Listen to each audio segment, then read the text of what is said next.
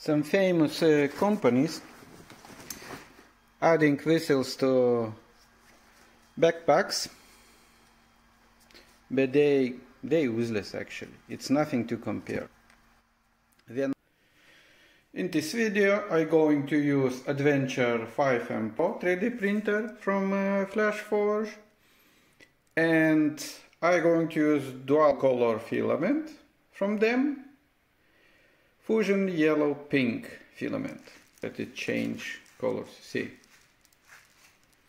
And we're going to print loudest whistle that I found on internet. Actually I didn't sell this model so it's my own model. I uploaded this file on Thingiverse so you can download for free and uh, print by yourself of course I tested and printed this file before. You see what people comments.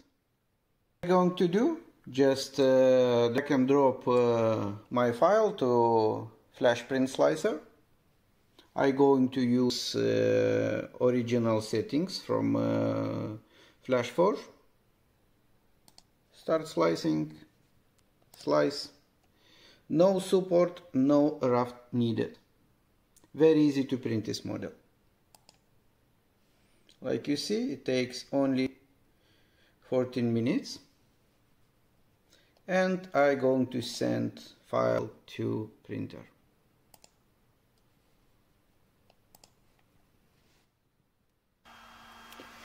Fourteen minutes later, I get this. Super shiny. Nice feeling actually. I always want to find super loud whistle. So but uh, it's I have no luck. Online what is on eBay or Amazon they sell selling those whistles but they not loud. They just uh, yeah just whistles. So that's why actually I designed this model. So it will uh, be really really loud you see one, two, three, four whistles in one. And they're different. They're different in size. You cannot see by the eye, it's they're different in size.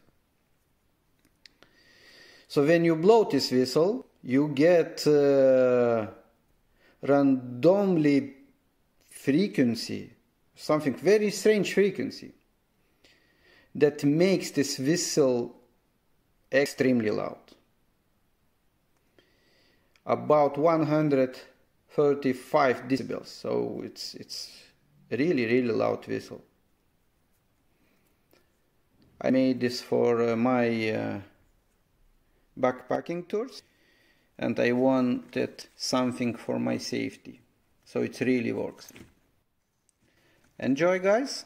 Don't forget to subscribe like and uh, of course more videos coming soon